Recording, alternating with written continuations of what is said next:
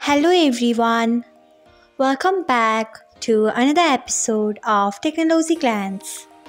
Today, in this video, I'm going to guide you through how you can turn off add to post submission on Instagram. So, let's get started. Firstly, open Instagram app in your device. Then tap on profile icon Next, tap on three lines icon. After that, tap on settings and privacy. Next, tap on notifications. After that, tap on posts, stories and comments. Then scroll until you find add to submission.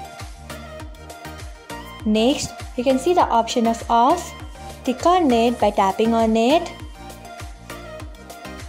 So, this is how you can turn off add to post submissions on Instagram. Thanks for watching.